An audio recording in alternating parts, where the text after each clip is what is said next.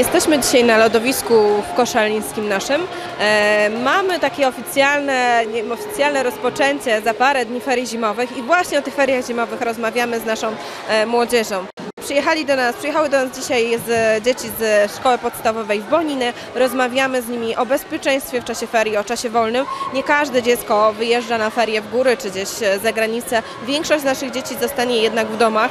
E, Będą spędzały oczywiście aktywnie czas, wypoczynek na półkoloniach, różnego typu atrakcje będą na pewno zapewnione, ale właśnie o tym bezpieczeństwie dzisiaj rozmawialiśmy. O numerach alarmowych, o tym jak się zachować nad zamarzniętymi akwenami wodnymi, o tym kogo możemy spotkać, kto, nos- może, kto może z nami rozmawiać w internecie, o tym czego nie robić e, w sieci e, i na ten temat staraliśmy się dzisiaj rozmawiać. To była współpraca Państwowej Straży Pożarnej.